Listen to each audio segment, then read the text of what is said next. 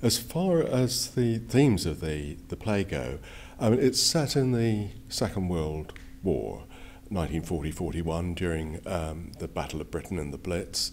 And of course, one of Peter's most famous plays, The Accrington Pals, uh, was set in the, the First World uh, War. And I suppose that there are echoes of the, the themes uh, that were in, in that.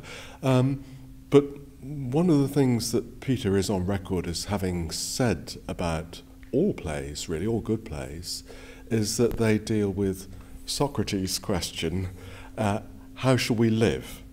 And um, that quotation is in the mouth of one of the characters in the play, one of the very sympathetic characters, and is a kind of keynote. Now, it's a very big question how shall we mm. live? So, it, it, but it gets localized into questions of personal morality in relation to the war and how your personal relationships are affected by the fact that it's wartime, and that there's a huge issue about how what's going to happen to the, the country. And one of the things we constantly have to remember uh, in directing is that nobody knew how the war was going to end.